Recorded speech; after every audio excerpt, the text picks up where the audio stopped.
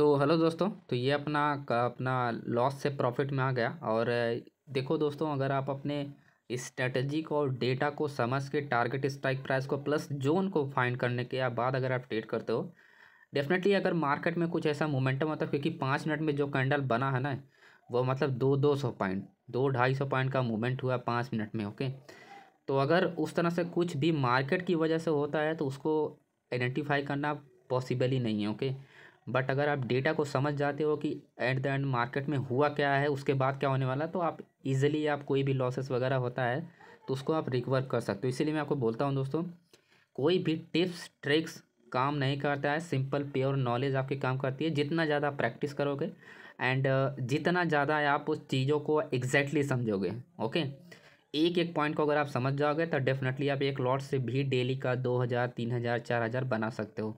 और आप मुझे फॉलो कर रहे हो तो मैं डे, लगभग आप देख ही रहे हो आप लोग।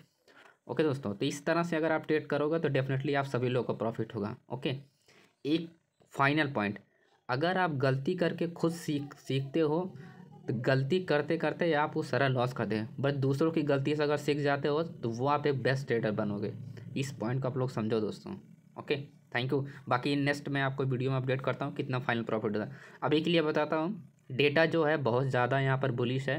क्योंकि सेलर्स बिल्कुल एग्जिट है मार्केट से तो मार्केट अगर प्राइवेट बैंक्स अगर बुलिश जा रहा है, अगर जाता रहेगा तो डेफिनेटली बैंक निफ्टी में एंड तीन चार सौ पॉइंट पाँच सौ पॉइंट मार्केट मूवमेंट हो सकता है। यानी बयालीस हज़ार सात सौ तक मार्केट जा सकता है, अभी बयालीस हज़ार तीन सौ के आसपास, यानी तीन चार सौ मार्केट मूवमेंट हो सकता है okay private bank and finance sector सिर्फ़ दो सेक्टर अगर बुलिस गया तो डेफिनेटली अच्छा प्रॉफिट होगा।